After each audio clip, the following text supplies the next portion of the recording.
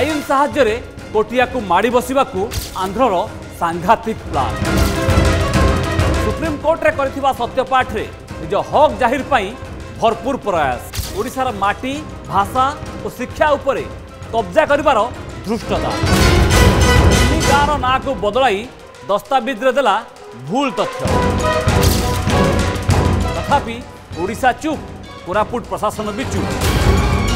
ଓଡ଼ିଶା ସଜାଗ ନ ରହିଲେ ଆଇନ ଜାଲରେ ଫସାଇ କୋଟିଆକୁ ମାଡ଼ି ବସିବ ଆନ୍ଧ୍ର ଦେଖନ୍ତୁ ମୋ ସହ ପ୍ରଶ୍ନକାଳ ଆନ୍ଧ୍ରର ଆଇନ ଚାଲ ଆଜି ରାତି ଆଠଟା